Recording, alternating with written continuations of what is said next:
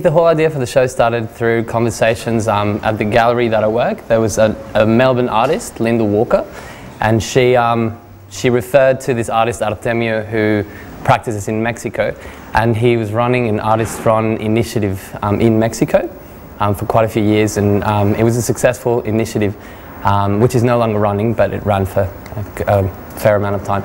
And I just was really interested to, I guess, connect um, back to Mexico and to the contemporary art scene in Mexico um, because being here throughout all my university education, I didn't really have that much contact and I didn't really know about a lot of the history of um, contemporary practice in Mexico.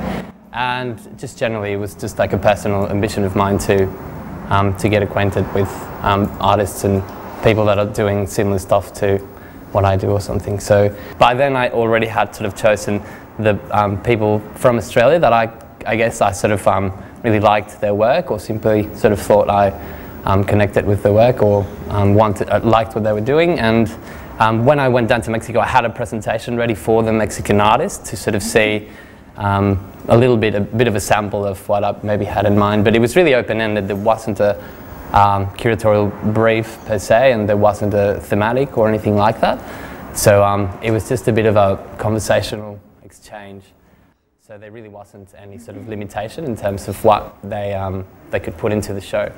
I just wanted to uh, have everyone engage in the conversation through the online forum and then see what happens from their interactions or something like that. So most of the pieces are individual artworks created um, separately. There's one piece, this one here, um, by Benjamin Ryan, um, who is just here. um, visiting from Tasmania, he's studying now, and this girl from Mexico, Marion Sosa. And they came up with this sort of, um, I guess, collaborative installation, or it's, well, it's more like two separate works, but sort of using the same space. That's how they wanted um, it to be displayed. Interesting when the blog sort of sort of started out of nowhere, because the first sort of thing that happened is that they started exchanging images with no sort of caption. Um, and the images were quite random and uh, it was just the, the, first form of exchange. And then, um, then there was a bit of text, but then there was a big lag between like when the, the post was submitted and someone else would reply and there was a bit of awkwardness. Um, and then someone would reply to another thread that was sort of gone past and it was just really, it wasn't structured at all whatsoever. And um, even Joaquin, one of the artists from Mexico as well, one of his first posts, he was just sort of confused and you could sort of hear in his writing that he didn't quite know what, what to do, whether like he was going to suggest some sort of, um, you know, some collaborative piece or whether he just needed to engage in like sort of some, something more theoretical or some sort of conversation regarding sort of art theory or what I think someone like Joaquin or Artemio, they would have been quite normalized with the way things sort of happened. It was just instructional and things were executed for them and but some of them were emerging as well. And I think um, probably someone like Pia Camil, the girl that did the billboard, um, she hadn't done this sort of exchange before. And um, I guess some of them had previous experience and some of them, um, it was just the first sort of international exchange kind of experience. Well, um, you know, it was sort of a thing where we were, I guess, pushing at some point for people to submit what they wanted to exhibit. So some of the first proposals that came through were for Pia's work, which had to be where it was. It was a site-specific design. Um, I was initially talking to Ivan about doing a work which was fitting into this corner. And, um, you know, and then this proposal came through with Marion and Ben to do this sort of um, environmental work. And we couldn't really place it anywhere else other than this kind of corner. And then, you know, we got this proposal for Ella's work which um, also kind of didn't, you know, we couldn't really imagine it anywhere else because it was, you know, it needed its own kind of environment. And um, I guess we, the, the two video works, the Artemio video um, and the Joaquin, Joaquin's video um, were older works, which we'd chosen at the end once, like we'd already known what was going into the other spaces. So following not being able to do the work that I'd initially thought to do, I designed this work specifically in mind with what was going on in the other spaces. Yeah, I guess my my initial sort of like um, thought with getting all these artists together was I don't know, I think I just naturally sort of went to either trying to find differences or similarities within their practice. So I guess that sort of indirectly was talking about like Mexican against Australian in a way. Um, but it didn't really quite happen like that. It just evolved in a different way, which I think I kind of liked. Um, but yeah, I guess that is something that sort of ha- happened on its own.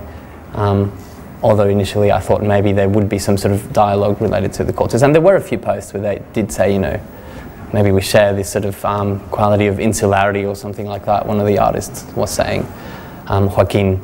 And then there was a few sort of um, answers to that as well, but it, wasn't the focus. Mm. Yeah.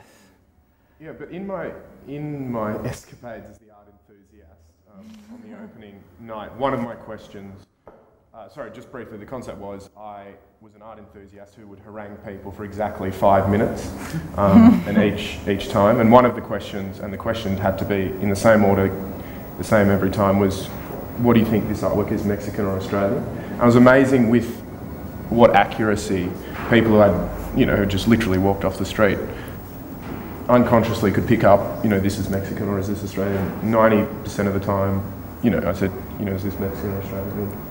they'd guess correctly. Mm. So there is. I missed the whimper above the bar for yeah. a couple of days, and then, mm-hmm. but that's one of my favourite pieces in the show because of that. I mean, mm. it's got all different levels. Yeah. Sure. Well, unfortunately, Ella can't be here. She's the did the cellophane um, sculptures. Um, but again, I, I, guess she has really sort of formal interests, and um, she's studying painting. She's doing honors, and she um, uses a lot of like um, sort of white and low-fi materials and white plastic, and she works a lot with um, opacity and translucent sort of kind of materials. And she really she thought it was important for people to walk around the work, and it's the whole sort of I guess experiential approach and whatnot. but then the I was going to also talk about Sean, sorry, I didn't introduce him, but um, he was doing a performance for a Mexican artist called Esteban. And um, Esteban um, works with like cultural groups and like he, he does drawings and installations and stuff. So he, he focuses on always related to like drinking. So sometimes he'll focus on cultural groups like Cancun and Spring Break, and he does some installation drawing. And he was doing also this series um, with like um, the Amish, the, um, also related to drinking and ritualistic ways in which we, I guess, um, drink and then interact with others. And so that's why he really wanted it to happen during the um, opening night where people are drinking as well. And um, you have to speak to as many people as possible, rotating around the room. So I'd move from artwork to artwork in the same fashion uh, for five minutes at a time with exactly the same questions and exactly the same enthused approach. so that by as the as the opening progressed, people became aware that they were overhearing a conversation that they just had with me, like a moment before. And you could see people sort of like "What is going on? Like, what's going on?" Um, but also, just in the conversations themselves, it was really interesting to see that some people were really happy to be tapped on the shoulder.